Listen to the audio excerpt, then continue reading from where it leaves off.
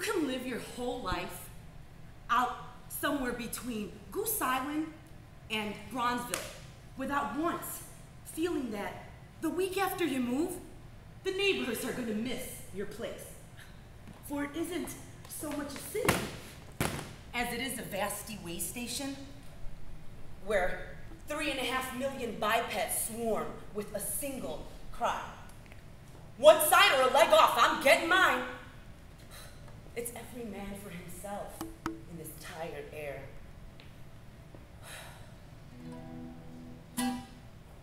Well, yet once you come to be part of this particular patch, you'll never love another. It's like loving a woman with a broken nose. You may well find lovelier lovelies, but never a lovely so real. And Jane Addams knew too that Chicago's blood was hustler's blood, knowing that Chicago forever has two faces one for winners and one for losers, one for hustlers and one for squares, one for the open eyed children of a thousand windowed office buildings, and one for the shuttered hours, one for the sunlit traffic's noontime bustle, and one for the midnight subway watches, where stations swing past like Ferris wheels of light, yet leave the moving window wet with rain or tears. One face for the go getters, and one for the go get it yourselfers. One for the poets, and one for performers. One for the good boy, and one for the bad one for white collars as well as the blue. Our museums like cathedrals, our cathedrals like museums. For the windy white and the blue. Miles of beaches Saturday moonlight too, to Michigan City afternoons at the zoo, washed into mists of sunlight. One for early risers and one for evening hiders. One for the White Sox and none for the Cubs. One for King Oliver and Louis Armstrong, improvising half an hour at the old Lincoln bandstand for Baby Dodds and Dave Tough and all the other real gun centers gone too soon that brought jazz up the rivers from New Orleans, made it Chicago's music and then the world scene. For the soldiers and the sailors and the far from home Marines, it doesn't matter where you're from.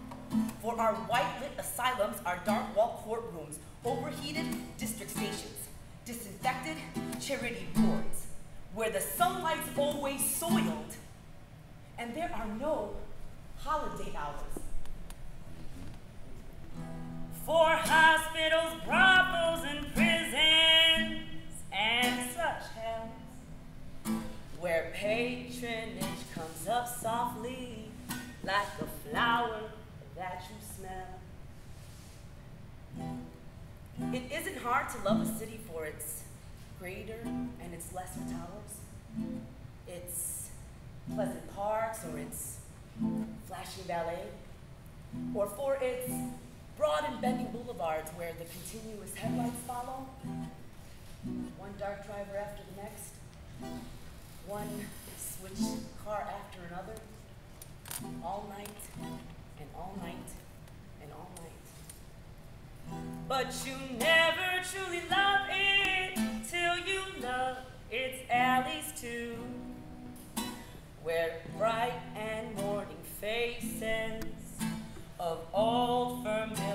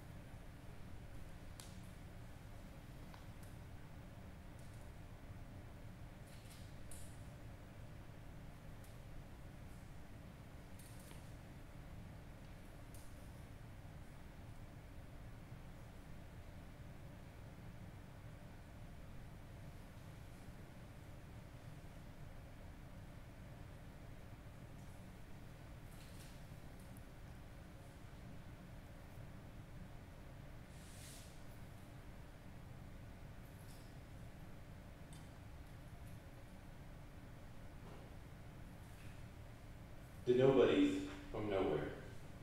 A complete portrait of Chicago. An ode to Gertrude Stein. Doors closing. The Nobodies from. Nowhere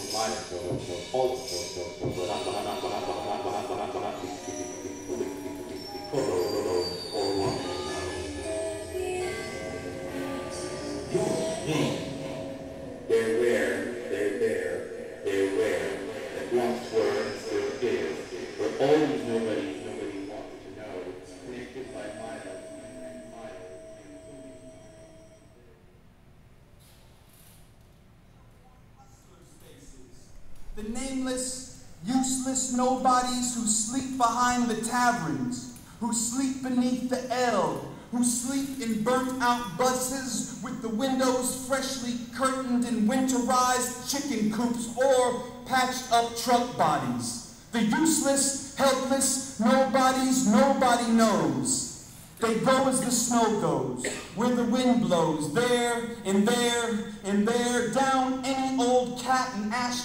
alley at all. There, unloved and lost forever, lost and unloved for keeps in a day. There, far below the ceaseless flow of TV waves and FM waves, way, way down there, where no one has yet heard of phonovision, nor considered the wonders of Technicolor video. There, there below the miles and miles of low pressure cookers, there where they sleep in someone else's jail, there where they chop kindling for heat, cook over coal stoves, still burn kerosene for light, there where they sleep the all night movies through and wait for rain or peace or snow, there, there beats Chicago's heart. And all the stately halls of science, the newest Broadway hits, the endowed museums, the endowed opera, the endowed art galleries are not for their cold pavement colored eyes. For the masses who do the city's labor, keep the city's heart. And they think there's something fishy about someone giving them a museum for nothing and free admission on Saturday afternoons. They said somebody got a bargain, and they are so right. The city's arts are built upon the uneasy conscience that milked the city of millions on the grain exchange, in traction and utilities and sausage stuffing, and then bought conscience ease with the minute fraction of the profits. A museum for a tractor system, an opera building for a utilities empire.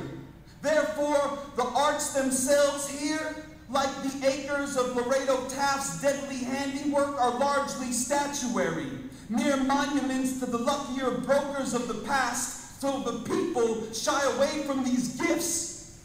They're never quite sure why.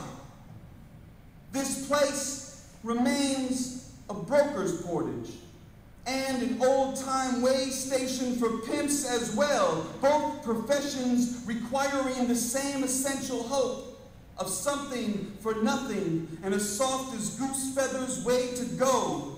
A portage too for the fabulous engines, the harvester, the sleeping car, and the Bessemer process. Yet never a harvest in sight hereabouts for humanity's spirit, uprooted over half the world and well deceived here at home. No room, no time, no breath for the Bessemer process of the heart.